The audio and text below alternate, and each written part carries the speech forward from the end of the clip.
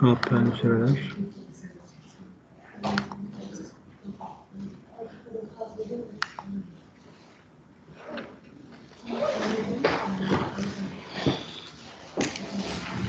Evet arkadaşlar, hoş geldiniz.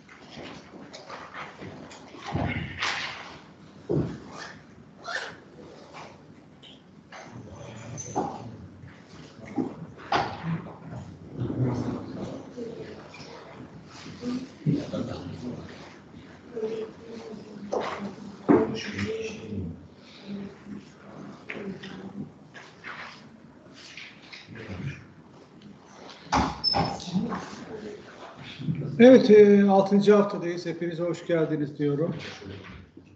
Bugün ikinci eğitimi hem yüz yüze yapıyoruz hem de kayıtlı yapıyoruz. Demek ki yapılabiliyormuş hem yüz yüze hem kayıtlı. Tabii Covid e, sürecinde hasta olanlar var, katılamayanlar var. Tabii ki %30 devamsızlık hakkını kullanmak isteyenler var.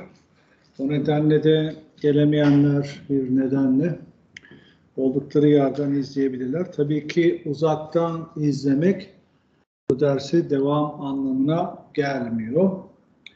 Fakat uzaktan katılabilirsiniz ve buradan da katılabilirsiniz. Görüntünüzü açabilirsiniz. Bir anım, bir hatıram olsun içinde olayım diyebilirsiniz.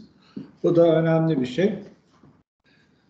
Kronometri önemli. Özellikle 2000 yılından sonra çok önemi arttı. 2000 yılından sonra uzaydan, uydudan gravimetrik ölçümler yapıldığı için 7-24 şu an gravimetri ölçümleri uydudan yapılıyor.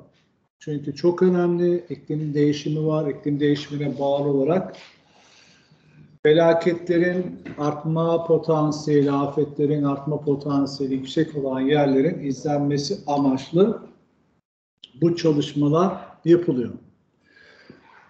Tabii ki bu çalışmaların yapılması ile ilgili olarak harita mühendisliğinde uydu verileri oldukça sık kullanılmaya başlanmış. Gök Dokümantasyon Merkezi'nde tüm tezleri indirebiliyorsunuz. Kendi sahanızla ilgili, kendi alanınızla ilgili bütün tezleri indirebiliyorsunuz. O nedenle ben de indirdim. Acaba bu konuda yapılmış bir yüksek lisans tezi var mı diye. Tabii önce bir makale buldum. Acaba bu makale bir teze mi karşılık geliyor diye. Baktım bir yüksek lisans teziymiş. Afyon Karatepe Tepe Üniversitesi'nde yapılan işte bu tür uydu verilerinin analizine esas alan bir çalışma. Tabii size tavsiyem YÖK Dokümantasyon Merkezi'nde her alanla ilgili yüksek lisans düzeyinde, doktor düzeyinde tezler var. Onları indirmeniz. Bunlar tabii ki akademik denetimden geçtiği için önemli. Çok rahatlıkla okuyabilirsiniz. Ben de akşam hızlıca bir baktım nedir ne değildir. Çünkü biz jeofizik mühendisliğinde kullandığımız literatür ya da terminoloji farklı olabilir. Biraz onu merak ettim. Biraz da ne yapılıyor, nasıl bir çalışma yapılıyor? Uydu verileri kullanılıyor. Demek ki akademik çalışma için önemli bir fırsat sağlıyor. O zaman nasıl kullanılıyor ona bakmamız lazım. Tabii ki bununla ilgili olarak en önemli kullanım alanı geoid tespiti. Geoid haritaları ne yapılabiliyor? Tespit edilebiliyor. Uzaktan tespit edilebiliyor. Aslında dünyanın geoid yapısı çok da düzgün değil. Görüyorsunuz oldukça düzensiz bir topografiye sahip. Yani bir topolojik e, boyutu daha fazla bir fraktal boyutu var, bir düzensizlik var. Bir öğrenci topografik verilerin analizini yapmıştı, onların fraktal analizini yapmıştı. Tabii ki topografyadaki harita verilerindeki bu düzensizliği bizler ne yapabiliyoruz? Ölçebiliyoruz. Bunun ölçülmesi ile ilgili olarak özellikle dünyada ilk defa topolojinin açıklamasını yapan kişi resimde görmüş olduğunuz akademisyen yapıyor. 1847 yılında yapıyor. İlk defa topoloji nedir? Topoloji düzenli yapı demektir. Yani bir noktasal yapı, bir e, çizgisel yapı ya da bir iki boyutlu yapı. E, bunlar nedir? E, topolojik e, bir yapıdır. Ama dünyanın üstünde bu şekilde bir yapı göremiyoruz. Net çizgiye benzeyen bir yapı görebiliyoruz. Ne bileyim ya da ne de, ne de bir dikdörtgene benzeyen bir yapı görebiliyoruz. Hep girinti, çıkıntı ve yapılar. Özellikle Benioff Mandelbrot 1982 yılında e, Evrenin Fraktalı diye bir makalesi var. İşte buluttaki düzensizlikler, topografyadaki girintiler, çıkıntılar. 1982 yılında bu tür düzensiz yapıları e, modelleyen e, evrende fraktal diye benim doktora konumda bu. Bu konuda e, çalışma yaparak özellikle düzensizlik içerisinde bir düzenin olabileceğini göstererek önemli bir çalışma yaptı.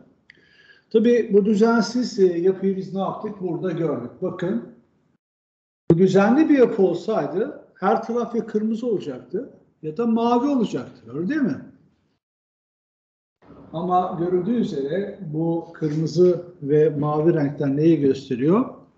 Topografyadaki inişleri ve çıkışları gösteriyor. O zaman John Benedict Listing 1847 yılında neyi tanımlamış? Geoidi tanımlamış. Demek ki dünyanın bir geoid yüzeyi var. Bu geoid yüzeyi ile ilgili tanımı nasıl yapmış? Görüldüğü üzere o tanımı ne yapıyoruz? Burada görebiliyoruz. İşte Durgun her su yüzeyi yani nivo yüzeyinden bahsetmiş ve bunların ağırlık kuvvetinin dik olduğundan bahsetmiş. Akıntıların gergit olayının, rüzgarın etkisi olmayan deniz yüzeyinin karaların altından devam ettirilerek bulunacak olan yüzey dünyanın matematiksel şekli olarak geoidin kabul edilebileceğini, açıklanabileceğini söylemiş. Demek ki John Benedict Listing 1847'de bu açıklamayı yapmış. Bu açıklamayı da akşam işte okumuş olduğum yüksek lisans tezinde ki e, uzmanlık yapan arkadaşımız bu kaynaktan aldığını belirtmiş. Muhakkak bir yerden alıyorsanız ve o cümlede hiçbir değişiklik yapmıyorsanız muhakkak kaynak gösterin. Değiştirseniz de kaynak gösterin. Muhakkak her sayfanızda bir kaynak olsun çünkü size bir proje ödevi vereceğim. Kaynaksız bir şey yazmayın. Değiştirmeniz daha da iyidir. Buna paraphrase deniyor, cümle değiştirme deniyor. Değiştirerek özgünleştirmeniz daha iyi. Tabii Gauss da bir bilim insanı olarak geoidi tanımlıyor. Kendisi yer yuvarının matematiksel şekli diyor. Geoidi bir matematiksel şekil olarak tanımlıyor. Fakat e, bu yüzey üzerinde matematiksel işlemleri yapılamayacak kadar bu yüzeyin üzerinde karmaşıklık ve düzensizlik olduğunu ne yapıyor? Belirtiyor. Demek ki geoid e, görüntüsü aslında dünya yüzeyinin çok düzensiz olduğunu gösteriyor. O zaman ne yapmak gerekir? Bu tabii ki slaytları çevirmediği için öne arkaya gidiyorum. Geoid ile ilgili değişik şekiller var. Akşam baktım değişik şekiller var. Burası neresi? İşte okyanus ortası sırtı. Okyanus da var. Dünyanın en derin okyanus çukurluklarının olduğu yer. Mid Oceanic Trench dediğimiz okyanus ortasında ne çıkıyor? Yerin altından malzeme çıkıyor ve oranın topografyası da bir yükselme meydana geliyor. Bir. İkincisi oradaki kabuk yapısında sıcaklıktan dolayı bir incelme geliyor. İki. Üçüncüsü bu malzemelerin yan tarafa doğru itilmesinden dolayı bir hareket meydana geliyor. Ve bu hareketin sonucunda da görüldüğü üzere bu sınırlarda çarpışma sınırları meydana geliyor. 3. Demek ki burası nedir? Yerin üretim merkezi. Burada bir üretim var. Yerin içindeki o sıcak mağmatik e, malzemeler buradan çıkıyor. Çıkarken ya e, yatay yönde iki tarafa doğru, bilateral dediğimiz iki tarafa doğru hem bu yöne hem de bu yöne doğru bir açılma meydana geliyor. Ve dünyadaki depremlerin nedeni de zaten bu okyanus ortalarındaki çıkan sıcak malzemelerin hareket etmesi. Bunun hareket etmesi nedeni de yerin içindeki sıcaklık, işte konveksiyon akımları ile bu ne bileyim üstteki biraz soğuk olan işte kabuk ya da litosferin taşınması. Demek ki ne yapıyor bu taşınma, çarpışma? Burası tabii ki açılma zonu. Açılmalar, işte düşmeler, çukurluklar meydana getiriyor. Bu da demek ki Joyet'in diğer bir görüntüsü olarak ortaya çıkmış. Mükemmel. Tabii bunlar nasıl çıkıyor? İşte görüldüğü üzere arkadaşlar bakın uydudan insanlar 7-24 ölçüyor. İnsansız gravimetre cihazları diyebilirsiniz. Tabii ki bu uyduların içerisindeki cihazlara gradiyometre deniyor. Bilemiyorum yani gravimetre, gradiyometre bunlar birbirinden e, pek farklı şeyler değil ama o şekilde deniyor. Demek ki bu önemli bir referans sağlıyor bize ve gerçekten yerin gerçek topografik görüntüsünü bizler 2000 yılından sonra uzay ölçümleriyle, uzaydan ölçümlerle ne yapabildik? Ve bu şekilde görüntüleyebildik.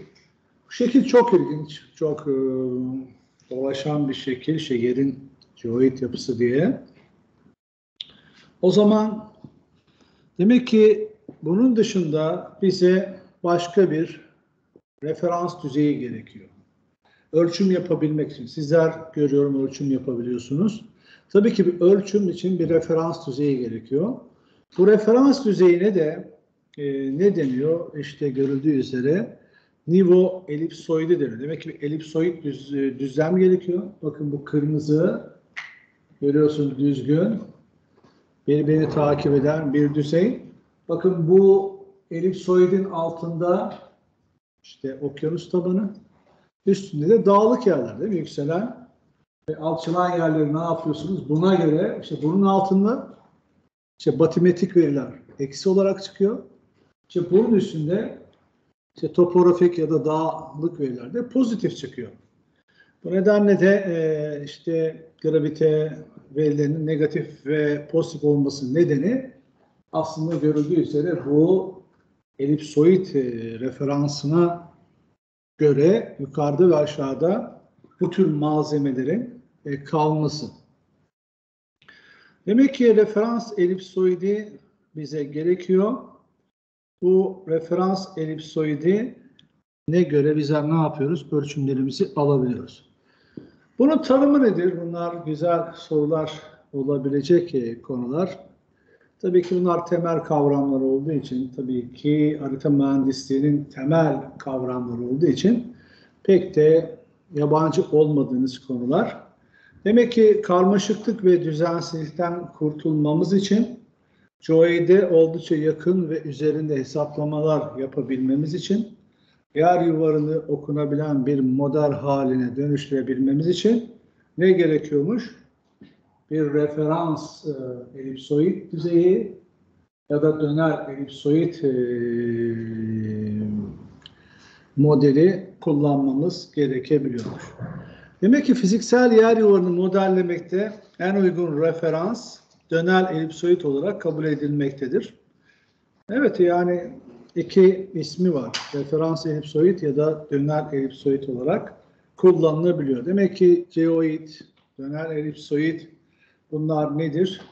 Bunlar bilmeniz gereken temel kavramlardır. Demek ki ölçüm alabilmemiz için bir döner elipsoid yüzeyi olması gerekiyor. Ölçüm alabilmek için yüzeyde bir noktada ölçüm alabilmemiz için.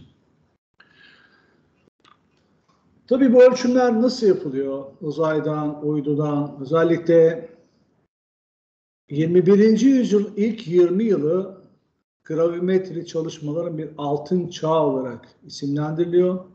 Çünkü uydudan ve uzaydan 7-24 artık her bir nokta ölçülüyor.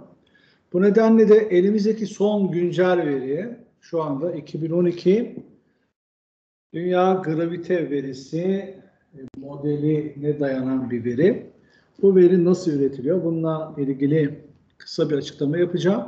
Bu verinin kullanılmasıyla ilgili olarak da e, sizleri bir il merkezli e, bir çalışma yapmanızı, bu dersin sonunda nasıl yapacağınızı açıklayacağım.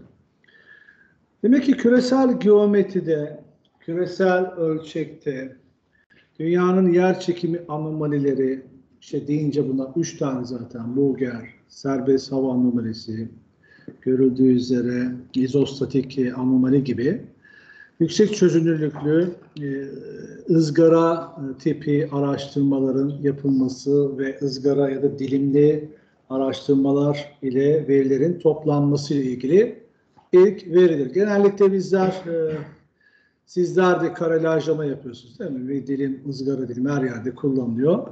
Ve bu şekilde de ne yapıyorsunuz? Bunu iki boyutlu, üç boyutlu çok hassas olarak görüntüleyebiliyorsunuz.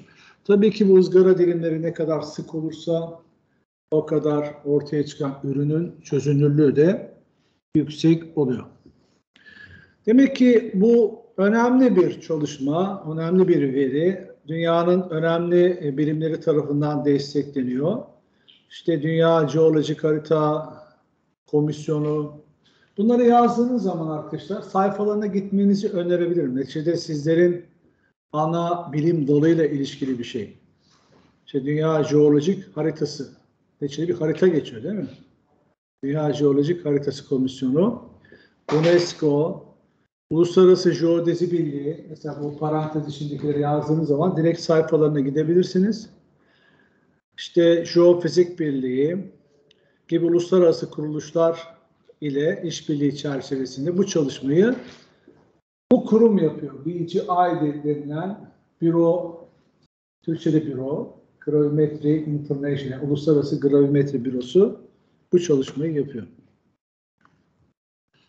Demek ki Uluslararası Jeolojik Bilimler Birliği ve çeşitli bilimsel kuruluşların desteğiyle yapılan e, çok e, referans, çok önemli bir e, veri kaynağı konusunda sizlere özellikle bilgilendirmek istedim. Neticede bir akademik çalışma yapmanız durumunda tabii ki akademik çalışma yapmanız ya da akademik düşünebilmeniz için bir defa elinizde gerçekten hassas veri olması lazım. Kullanılabilir veri olması lazım. Ulaşılabilir veri olması lazım. Ulaşılabilir, hassas, doğru veriler olması lazım. Bu verileri hiç olmazsa e, bu ders kapsamında nasıl kullanabilirsiniz? Nasıl yorumlayabilirsiniz? Bu konuda bir deneyimi kazanmanız bu ders kapsamında benim için oldukça önemli. Çünkü neticede bir uygulaması yok bu dersin ama hiç olmazsa bununla ilgili bir ödevle bunun uygulamasını yapmanızı sağlamaya çalışacağım. Demek ki VGM dediğimiz yani işte World Gravity Map'in kısaltılmışı başlartı 2012 yer çekimi anomalileri mevcut dünya küresel yer çekimi modelleri EGM 2008 ve e, DTU ondan e, türetilmiş. Demek ki daha önceki çalışmalardan türetilmiş. Tabii bu 2008 çalışması da akşam okuduğum e, makalede Avustralya'da yapılan bir e, pilot çalışmada önemli bir e, ürün olarak ortaya çıkıyor ve oradaki referans herhalde Pavlis bilim insanı, ismi Pavlis olan bilim insanı çalışması daki bu başarı ne yapıyor? Oradaki veri ve yöntem e, ne yapıyor? Tüm dünyaya uygulanıyor. Yani pilot çalışma ne yapıyor? Birden artık e, bir e, global çalışmaya dönüşüyor. Burada en önemli olan şey ne yapılıyor? Bakın orada bir topografik veri kullanılıyor. işte atmosfer, kara, okyanuslar, göller, buzulların da e, değişimini içeren bir etop, topo verisi yani harita verisi ne yapılıyor? E, buradan e, 1 çarpı 1 çözünürlüklü e, kullanılarak arazi ile ilgili tüm düzeltmeler yapılıyor. Arazi ile ilgili tüm düzeltmeler yapılınca ne kalıyor elimize? Elimize kalan ürün, ürün Buger haritası değil mi? Düzelt, düzeltilmemiş veri ne oluyor? İşte serbest hava anomalisi yani serbest. Her şey dahil demek yani serbest, her şey dahil. Ama bu tür düzeltmeleri yaptığımız zaman Buger anomali kalıyor. Yani litoloji ile ilgili veri kalıyor. Demek ki topografik düzeltme önemli bir katkı sağlıyor. Evet baktığımız zaman bu ürünler nedir diye baktığımızda küresel ölçekte doğru hesaplamaların elde edilmesinde gerçekleştirilen teorik gelişmeler kullanılarak küresel harmonik bir yaklaşım, küresel harmonik bir yaklaşım ya bu çok geçiyor küresel spherical harmonical approach diye. Evet küresel harmonik, harmonik uyumlu demek. Yani küreyle uyumlu demek. Öyle değil mi? Şimdi Türkçesini şey yapınca harmonik. Uyumlu demek yani. Küreyle dünyanın işte küresel elbisoid yapısı uyumlu bir e, ürün olarak hesaplanıyor. Bu çalışmanın yapılmasında özellikle bu e, birime gittiğiniz zaman bu e, çalışmayı yapan birime gittiğiniz zaman referans makale olarak bu çalışma böyle. Barbino ve diğerlerinin çalışması referans alınıyor ve nasıl yapıldığı ile ilgili detayları ne yapabiliyorsunuz? Bu referans çalışmadan görebiliyorsunuz. Bu uydular, Grace uydular arkadaşlar şu anda 7-24 ölçülmeyen nokta yok. Tabi sizler ölçmenin ne kadar zor olduğunu biliyorsunuz değil mi? Yani engebeli, zor, topografik alanda. Ama şu anda insansız e, harita ölçümleri uydudan bu şekilde yapılıyor. 7-24 yapılıyor. Grace uyduları sürekli veri sağlıyor. Bunun sayfasına gittiğimde veriler açık yani. Herkes o kadar veriler açmış ki. Verileri alsın, kullansın. Yani dünyada e, bilimsel veriler e, açık olmasının anlamı biz çalışmamıza güveniyoruz demek yani. İsteyen çalışsın, isteyen test etsin. Açık olmayan bir veri seti zaten e, zaten bilimsel dergiye bir rapor gönderdiğinizde ilk baktığı şey bir hakimin kullanılan veri ulaşılabilir bir veri mi? Ulaşılabilir, açık bir veri seti mi? Ulaşılabilir bir veri değilse yani pek bir anlamı yok. Çünkü o çalışmanın test edilmesi lazım. Belki başka bir insan o veriye ulaşıp gerçekten doğru mu yaptı? Ya da o doğruyu daha mı doğru yapabildi? Öyle değil mi? Verilerin açık olması lazım. O nedenle de açıklık bilimsel e, projelerde önemli. Bilimsel projelerde destek almanın bir şartı da verileri açık yapılacağı garantisinin verilmesi. Yani bu garanti vermediğiniz zaman hiçbir uluslararası finans e, ya da bilim e, merkezi size vermiyor uluslararası ama bilemiyorum Türkiye'deki e, TÜBİTAK çalışmalarına veriler açık, açılıyor mu onu bilemiyorum ama uluslararası veri merkezleri bu şartı koşuyor. Çünkü e, uluslararası e, bir fon kullanıldığı için herkese açık olması şartı isteniyor. Nasıl toplanıyor diye baktığımız zaman bu görüntü daha da ilginç geldi bana. Akşam gece geç saatlerde bunu buldum.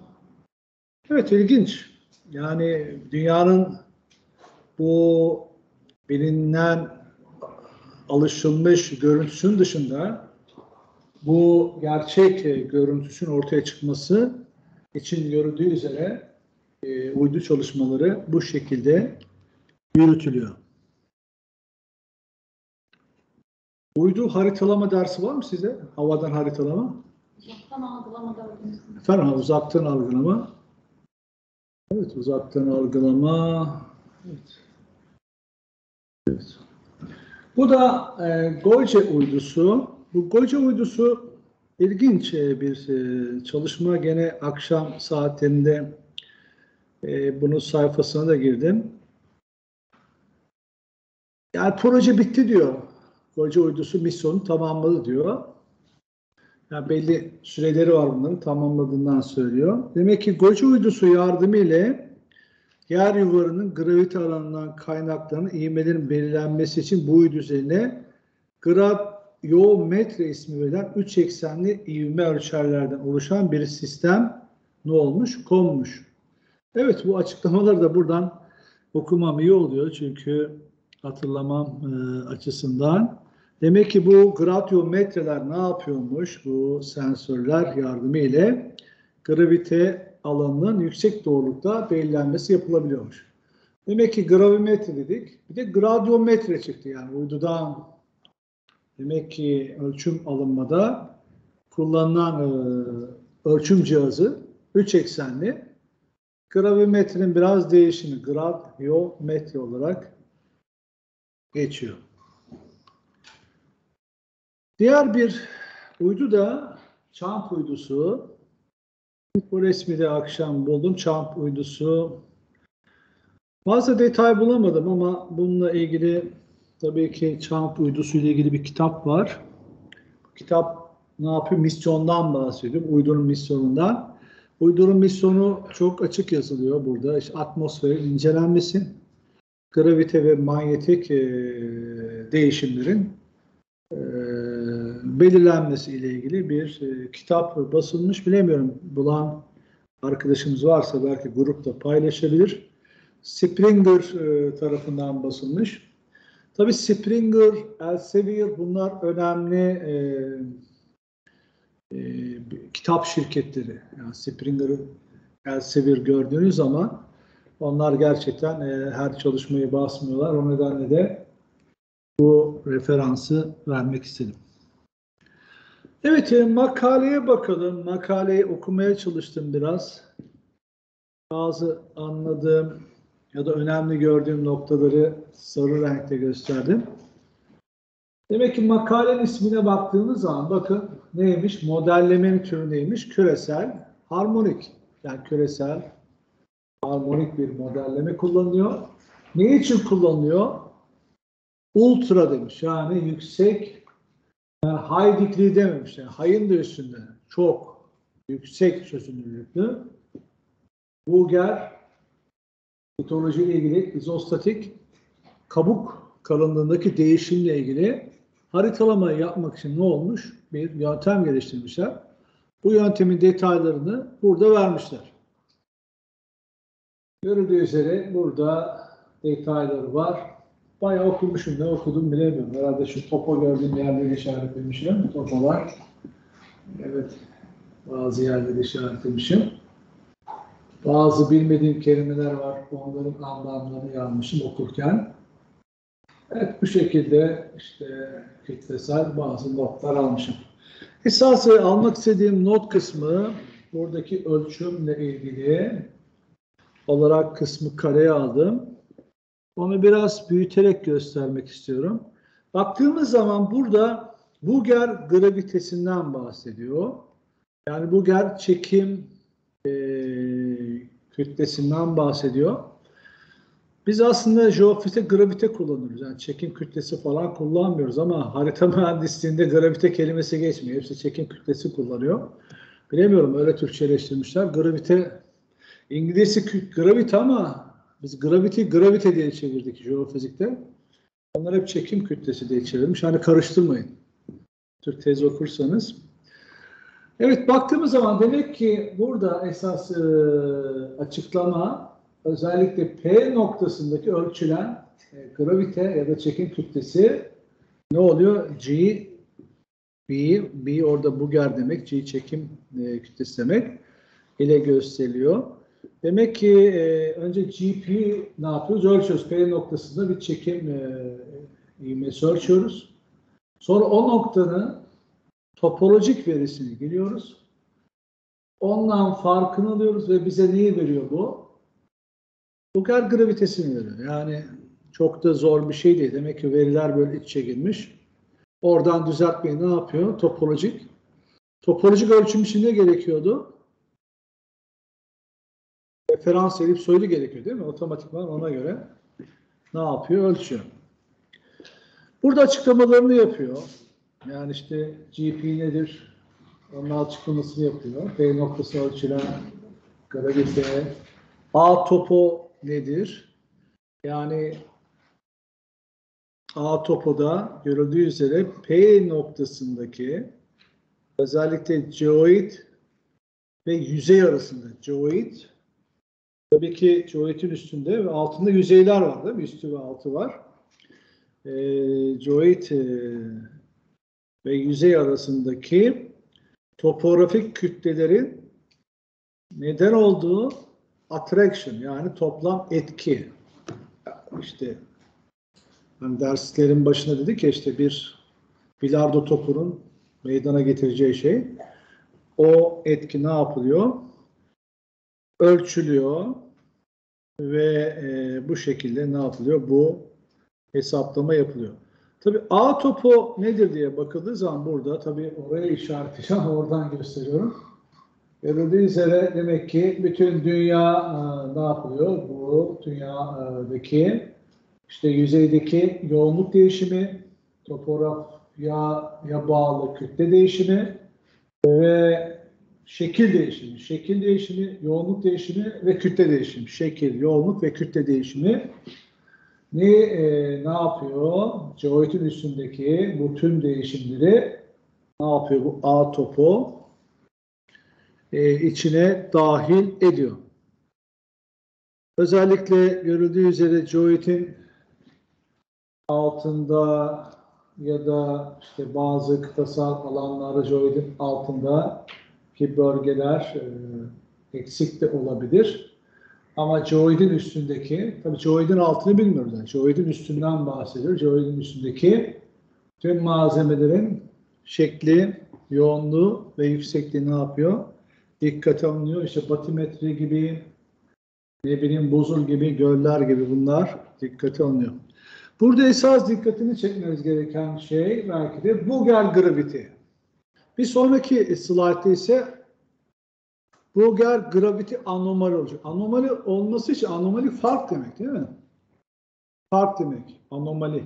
Yani birbirine göre değişimi artıyorsa bir anomali gördüm. Azalıyorsa bir anomali gördüm bu şekilde bir fark ortaya çıkıyor.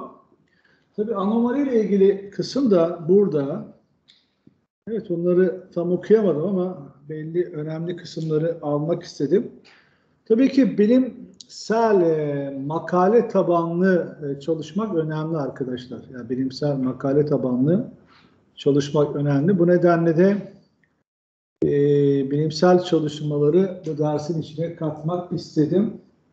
Görüldüğü üzere bunu büyütmek için bir sonraki slayta gidiyorum. Ve onun büyütülmüş halinde ne görüyoruz burada? Bir teori görüyoruz. Molodensky teorisi. Bu baktım dersin içeriklerinde geçiyor. Molodensky düzeltmesi denir değil mi? Molodensky. Ben ilk defa rastladım ya. Daha önce duymamıştım. Molodensky pek de kullandığım bir şey değil. Demek ki Molodensky teorisi ne göre Bulgar e, küresel anomalisi nasıl tanımlanıyormuş? Bu formülle tanımlanıyormuş. Bu formülün açılımı aşağıda görüyorsunuz. Açılımları aşağıda. E burada da detayları var. Demek ki Molodonsky anomalisi ile ilgili. Bakın şurada Molodonsky olduğu için Molodonsky anomalisi ile ilgili açıklama da verilmiş. Ve burada da bu Molodonsky'yi hesapladıktan sonra tekrar ne yapıyorsunuz? Gene topo. Yani arazi düzeltmesi. Tabi toponun içinde her şey var değil mi? Yoğunluk, yükseklik, şekil her şey var. Ya, topo diyoruz ama yani her şey e, dahil bir veri olarak ne yapılıyor? Kullanılıyor. Tabi bu çalışma nereden çıkartılmış? Özellikle burada İlcem 2008'de e, çalışmadan çıkartılmış. Yani İlcem 2008 çalışması bir referans çalışma ve o referans çalışmanın bir sonraki ya da en son versiyonda e, VGM 2012 verisi olarak ortaya çıkıyor. Bu çalışmayı yapan e, kişi Pavlis. Bunların makalesi indirilebilir. Özellikle Solid Earth'teki makalesi ilgilenen arkadaşlar varsa bulabiliyorlar, ulaşılabilir makaleler alabilir. Demek ki bu çalışmalar ne olmuş? Bu Molodonsky e, bu e, global yer gravite modelinden çıkartılmış, bulunan bir e, veri olarak e, ortaya çıkmış. 2008 yılının deneyimi. O zaman ne bulduk biz? Baktığımız zaman bulunan veri, uydudan 2012 verisinde serbest hava anomalisi buluyoruz. Tabii serbest hava anomalisine baktığımız zaman oldukça büyük bir değil mi? Kontrast var. Kontrast ne demektir? Anomali demek değil mi? Kontrast. Hepsi kırmızı olsa bir anomaliden bahsedebilir miyiz? Hepsi mavi olsa bahsedemeyiz değil mi? Anomali nedir? Hani bizler arama mühendisleri olarak anomali ararız yani. Anomali. Anomali heterojeniteyi gösterir. Ama hepsi kırmızı olsa homojeniteyi gösterir değil mi? O nedenle aradığımız şey düzgünlük değil. Aradığımız şey düzensizlik veya da anomali arıyoruz. Baktığımız zaman görüldüğü üzere oldukça kompleks bölgeler. Tanıdığınız bölge var mı buralarda? Tanıdığınız coğrafya. Evet ben görüyorum. Bakın Latin Amerika, Kuzey Amerika, değil mi? Latin Amerika burada. Bakın dünyanın en büyük depremin olduğu yer. Evet, görüldüğü üzere dünyanın en büyük depremin olduğu yer. San Andreas fayı buralarda olması lazım. Görüldüğü üzere. Türkiye'ye baktığımız zaman Türkiye burada bakın Türkiye denize bakın Akdeniz. Değil mi? Topografya nasıl değişiyor değil mi? Akdeniz deniz tabanı yani birisi değil mi? Deniz tabanı bakın. Neyle gözüküyor? Değil mi? Oldukça düşük. Deniz tabanı. Aslında sizden istediğim yorum bu yani. Bir ille ilgili siz de böyle bir harita bulacaksın. Yorumlayın. Bana haritayı çıkartın demiyorum yani. Böyle bir harita bulacaksın. Ben tabii ki bildiğim yerleri yorumluyorum. Ama sizin e, seçmiş olduğunuz il bilmediğiniz bir yerse yorumlayacaksın. Acaba bu mavi niye mavi? Deniz mi var? Göl mü var? Buz mu var? İşte bu kırmızı niye kırmızı? Dağ mı var? Ne dağ var? Doğru değil mi? İşte kırık mı var? Fayzon mu var? Bunları ne yapmanız lazım? Nasıl bir topografya var? İlişkilendirmeniz lazım. Evet biraz daha yakına gidelim. Yakına gittiğimiz zaman şöyle bir bölge almak istedim ben. Biraz daha e, çözünürlüğü yükseltelim istedim. Baktığım zaman çözünürlüğü yükselttiğim zaman biraz daha net görebiliyorum. Öyle değil mi?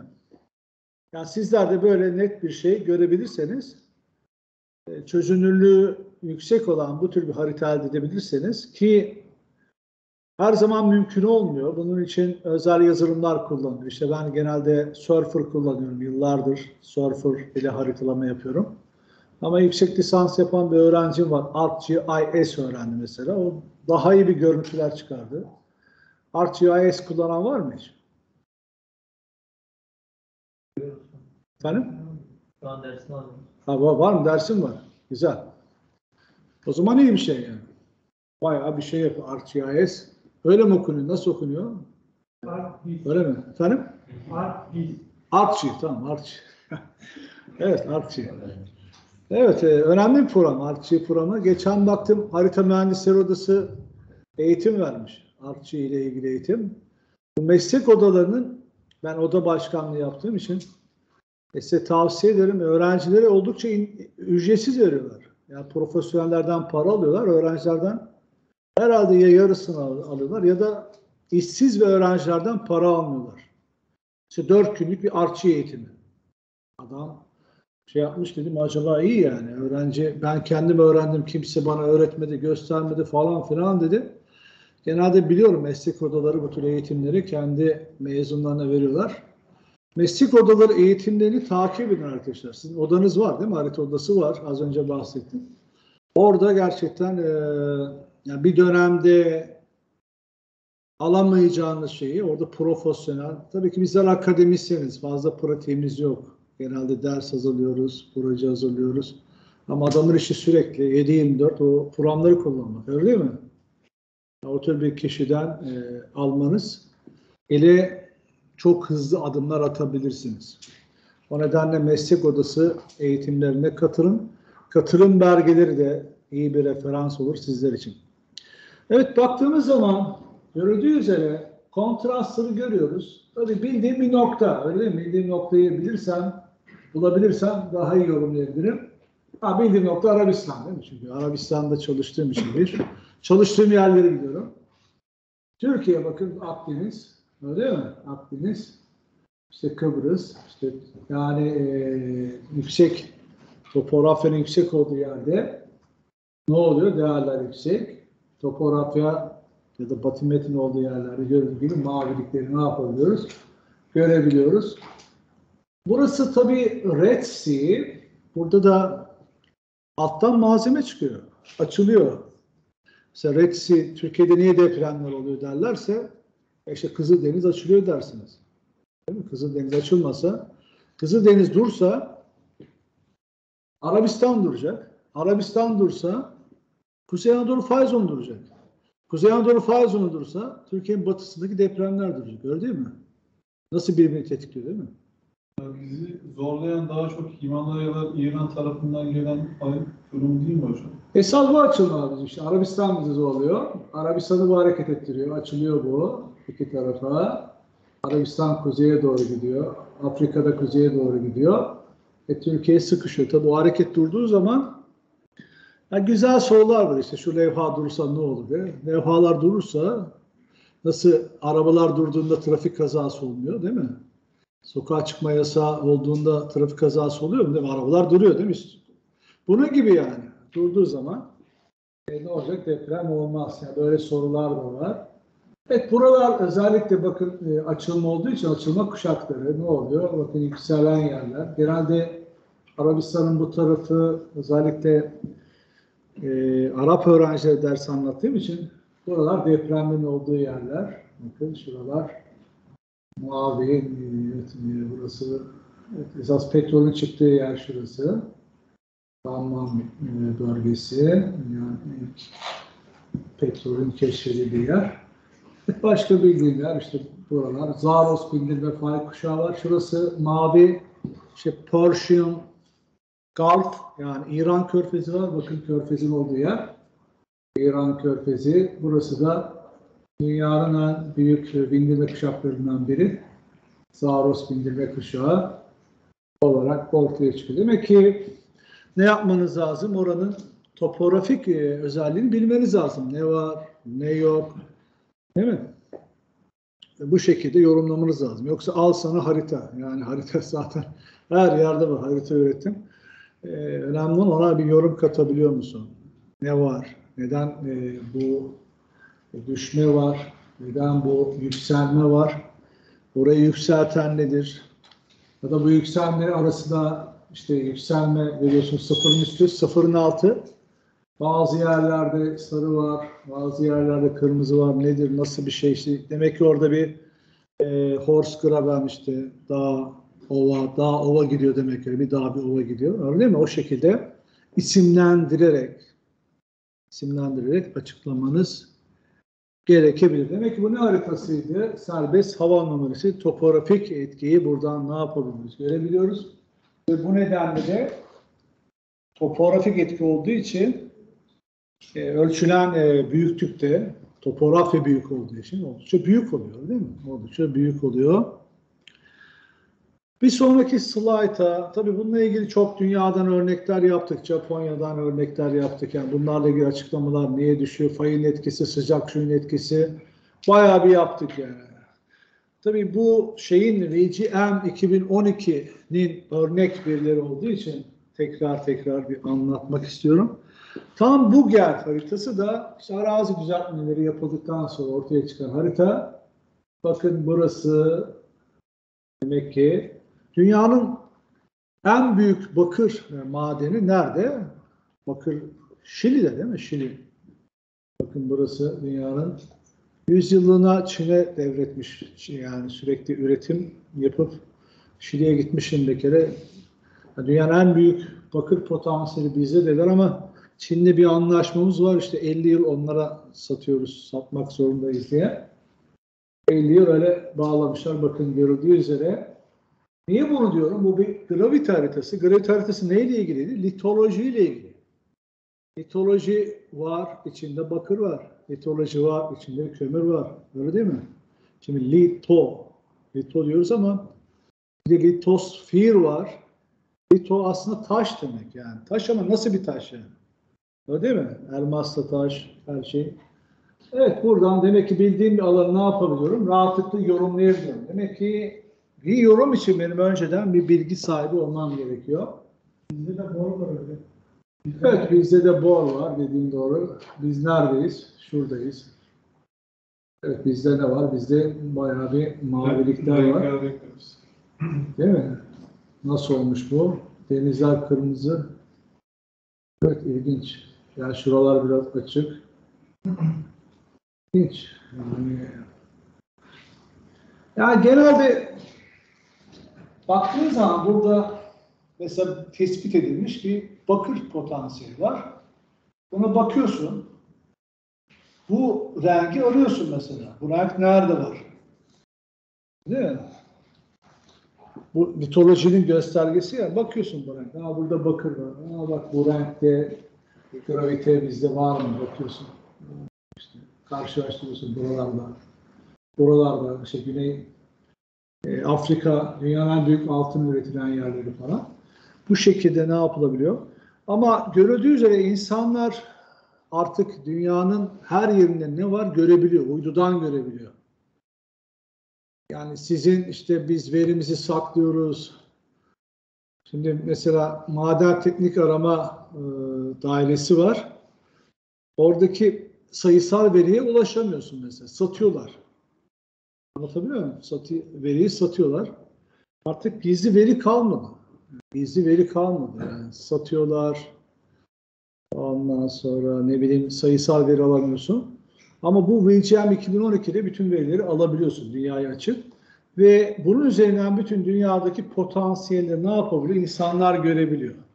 Yani sizin gidip bir Kanadalıya gidip ya bizim şeyde ne bileyim ne bileyim şehirde işte ne bileyim altın madeni var mı diye sormana gerek yok. Zaten adam görüyor nerede ne var olduğunu görüyor. O gelip seni buluyor. Mesela Türkiye'de bilmiyorum yani kaç bin Kanadalı firma çalışıyor bilemiyorum yani arama üzerine. Şimdi biz jeofizik mühendisleri işsiz diyoruz ama adamlar Kanada'da iş aramıyor ki. Adam ne yapıyor? Bu verilerden buluyor. Oradan bir proje ortağı buluyor. Oradan çıkartıyor. Bul, çıkar, sat. Biz ise mezun veriyoruz. İş bulamadığı için e, bölümlerimizde öğrenci bulamıyor artık. Bu nedenle global düşünen, global çalışan e, bakış açılarına ihtiyacımız var. Sizlerin de görmesi gereken nokta bu. Mesela Kayseri Deveri'de altın madeni çıkartılıyor. Şimdi Kanada firma çıkartıyor. Siz zannediyor musunuz ki e, Kayseri'den biri gitti Kanada'ya da ya gel şu Kayseri'nin taşı toprağı altınmış arayalım mı diyor. Adam bakıyor işte. Bence ne yapıyor? Altının tespit edildiği noktaları görüyor. O noktalara benzerlik, self similarity, benzer noktaları buluyor. O noktalardaki detaylı potansiyel araştırma için ne yapıyor? Orada bir proje ortağı buluyor.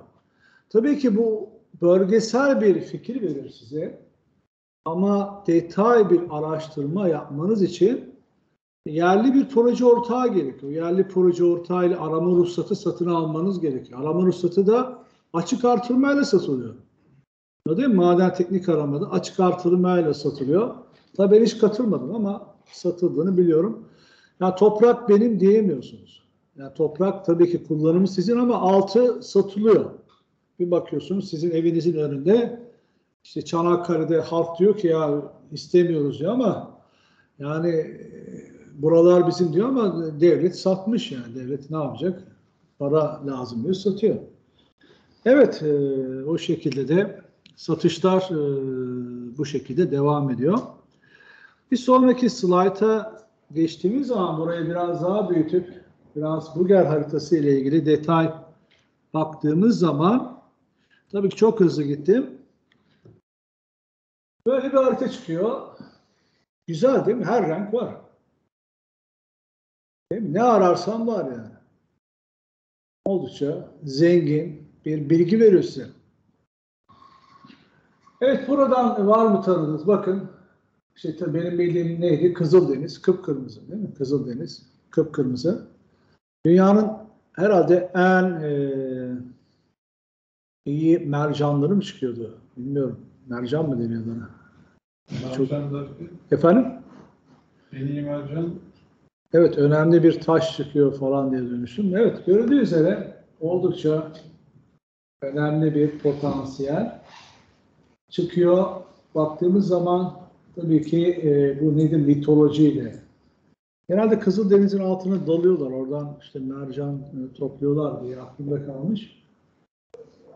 Evet bakın burası da deniz ama buradaki e, görüntüyle mitoloji ya da Buger görüntüsü buradaki görüntü bir değil. Bakın burası da evet evet burası masmavi. Ama şeye baktığımız zaman burası Doğu Akdeniz değil mi? Doğru görüyorum. evet.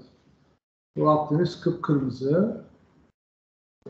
Kıpkırmızı ve içinde düşük ve yüksek yerler e, bulunuyor. Bu şekilde yani bu şekilde ne yapabiliyorsun? E, bu verileri görebiliyorsun.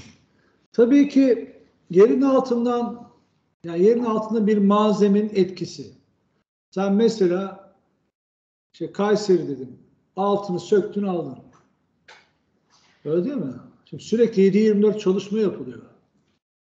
O zaman ne oluyor? Onun etkisi kayboluyor yani. Kayboluyor. Adam e, aslında 7-24 demek ne yapıyor? Aldığı yerde hiç değişmesi lazım değil mi? Etkisi ne yapıyor? Kayboluyor. İlginç yani bu 7-24 inceleme. Yani çok ilginç. Tabii ilginç olan şey şu. Mesela 2008'de bizim e, Albert Üniversitesi'nde çalışıyordum ben. Bir toplantı vardı. Benim hoca IOCDP üyesi. International Ocean Drilling Project yani RAK fiziği başkanıydı Kanada'da. Tüm RAK fizikçiler oraya gelmiş. İnsanlar aydaki boryumu getirmeyi tartışıyorlardı. Nasıl getiririz? Aydan boryum getirmeyi. Yani bırakın dünyadan boryum getirmeyi. 2008'de aydan getirmeyi tartışıyorlardı. 2010-15 arasında Mars'ın jeofiziğini çalışan postdoc ilanları vardı. Şu anda Mars'tan getirmeye çalışıyorlar. Yani o kadar. Ee, ama nasıl çalışıyorlar? İşte bu dünyadaki deneyimi ne yapıyorlar? Başka gezegenlere taşıyorlar. Başka gezegenlere ne yapıyorlar? Taşıyorlar ve 7-24 e, bu deneyimlerini büyütüyorlar. Bu şekilde baktığımız zaman bu şekil izostatik harita. İzostatik ne demek? Denge demek değil mi? Denge. Bu denge nasıl değişir? İncelme ve kalınlaşma öyle değil mi? Yani ders e, bir sonraki haftalarda işte bu eğri prat teorisi var onlara biraz bakacağız. İşte kabuğun inceldiği, kalınlaştığı yerler e, neyle gösteriliyor? İzostatik haritayla gösteriliyor. Demek ki bir topografik yüzeydeki değil mi? şeklin etkisi var. Eki kabuktaki incelme ve kalınlanma, kalınlaşma etkisi var. Bir sürü etki var. Türkiye'nin kabuk kalınlığı nerede artıyor? Doğusunda değil mi? Daha kalın. Batısında daha ince var. O zaman biz ne yapmamız lazım? Buna bağlı bir belki de bir e, farklılık görmemiz gerekir mi? Acaba görebilir miyiz? Bilemiyorum. Bakıyorum. Evet. Pek de büyük bir ölçek değil. Biraz daha ne yapmam lazım? Bunu büyütmem lazım. Evet. Gece iki buçuktu yani bu dersi hazırlayana kadar. Gece iki buçuğu bulmuştu. Evet. Bir saatte insanlar e, anlatıyorsunuz. Yani insanlar bir saatte dinliyor ama bir hafta ders hazırlamak. Bazıları kitabı çeviriyor. Sayfaları çeviriyor. Kitabın kopyası eline veriyor kopyasını vermiş olduğu kitabın sayfalarını çeviriyor. o şekilde de ders anlatanlar benim öğrenciliğimde vardı. Bazıları kitabı da vermiyor. Kitabı okuyor, yazın çocuklar diyor. Kitabı çoğaltayım diyorsun, olmaz diyor. Bizim zamanımızda bu tür eğitim de vardı. elindeki notu vermezdi yani öyle. Not öyle bir nottu ki bayağı bir sararmıştı yani gerçekten. Yıllarca demek ki okuta okuta. Yani hiç olmazsa elimiz yorulmaz diye düşündük verse de. İlginç. Evet. Bilemiyorum nasıl kapatıldığını. Evet. Evet. Evet baktığımız zaman burayı biraz büyütelim arkadaşlar. Biraz büyüttüğümüz zaman demek izostatik harita neyle alakalı dedik? Kabukta incelme ya da kabukta kalınlaşma ile alakalı. Şimdi kabukta görüldüğü üzere burada ne çıkıyor dedik? Kızıldeniz'de ne çıkıyor? Sıcak malzeme çıkıyor. Sıcak malzeme çıktığı yerde ne olur? Yani bir şeyi ısı tuttuğunuz zaman incelir değil mi? Öyle değil mi? İncelir. Değil mi? İncelir. Bakalım onun etkisi var mı? Evet, oldukça ne gözüküyor? E, Burada e, bir e, incelme. Ama tabii ki Türkiye'de hocam bu biraz farklı gösteriyor galiba. Hani demin dediniz ya dağlarda biraz daha kalınlaşma, kalınlaşma. Tabii Burada buradaki kabuktan bahsediyoruz. Dağdan bahsetmiyoruz. Oceanic crust e, tabii incedir ama yoğunluğu daha yüksektir. İlginç yani. İşte o nedenle de okyanuslar alta doğru dalar. Öyle değil mi? Yani incedir ama yoğunluğu daha fazladır. Bakın bu değil mi? İnce ama görüldüğü üzere oldukça yoğunluğu yüksek çıkıyor. O senin dediğin dağlar şeyle serbest hava anomalisine ilişkili. Topografi şekli. Bu kabuktaki karınlaşma incelmeden bahsediyoruz yani kabuktaki. Ege o zaman Doğu Anadolu'dan daha mı kalın kabuk olarak buradaki harita? Daha yoğun. Evet daha yoğun evet. Şuraya diyorsun. Evet, Akdeniz. Akdeniz'e baktığımız zaman görüldüğü üzere eee, daha e, düşük e, gözüküyor. Daha düşük gözüküyor. Doğru, daha ince. Tabii burada dalma batma zonu var. Burada bir sürü etki var. Yani Afrika levhası Anadolu levhasının altına doluyor. Yani levha üstüne levha var. Oldukça kompleks yani homojen bir yapı yok. 250 kilometreye kadar deprem oluyor Türkiye'nin batısında. Bu demektir ki Afrika levhası 250 kilometre altımıza girmiş. Yani Batı Anadolu'daki depremler Anadolu depremi mi, Afrika depremi mi? Önce bir defa deprem oldu ama olan deprem Afrika depremi mi? Anadolu depremi. Anadolu levhasına bağlı mı yoksa Afrika levhasına bağlı mı? Ee, sormakta yarar var ama görüldüğü üzere e, burası, e, buraları demek ki kabuk e, izostatik e, ya da kabuk değişimine bağlı olarak bu şekilde değişiyor. Evet denizlerde biraz daha yoğunluk e, ne olmuş? Düşmüş. Denizlerde baktığımız zaman Türkiye, işte burada da Ölüdeniz fayı var. Ölüdeniz fayı ve görüyoruz. Kızıldeniz'i görüyoruz. Buralarda bir yükselme var. Kabuk karını biraz daha fazla Arabistan'da. Burada rahatlıkla görebiliyoruz. Bu şekilde e, yorum yapmak lazım. Tabii ki e, bu bölgelerin işte kabuk kalınlığı çalışmalarına bakmak lazım. Yani orada bir etki var ama direkt kabuk kalınlığıyla ilişkili e, bakmak lazım. Ama Arabistan'da işte buralarda biraz daha yüksek olduğunu, 40 kilometre olduğunu yani çok uzun yıllar önce okumuş olduğum makalede görmüştüm. Evet şimdi sizlere 36 numaradan sonraki e, illeri verdim. Öğrenciler 34 numaraya kadar yazdı, 35 numaraya kadar yazdı. Burada illerin enlem boylamını verdim ben. Bu enlem boylamları merkeze koyacaksınız. Bir derece sağ, bir derece solu. Ne oluyor? Boylam oluyor. Bir derece aşağısı, bir derece yukarısı enlem oluyor. Bir alan belirleyeceksiniz. O alandaki bu haritaları üreteceksiniz. Bu haritadaki düşme izostat haritasında işte serbest hava numara haritası ya da bu haritası neyle alakalı olabilir? Onlara bakacaksınız. İşte burada enlem boylamları üşenmedim. Araştırdım. Bakın dört haneli yani noktadan sonra dört haneli oldukça hassas o değil mi? Oldukça hassas ee, bir enlem boylam haritası var. 36'dan sonra numaranızı yazdıysanız tabii 81 ilin plaka numarasını bilmiyorum ama bildiğim ve doğduğum yer İstanbul olduğu için İstanbul'u şey yaptım. İstanbul demek ki ne yaptım? Merkeze aldım. Bir derece yukarı, bir derece aşağı, bir derece sola, bir derece sağa ne yaptım? Alanımı belirledim. Öyle değil mi?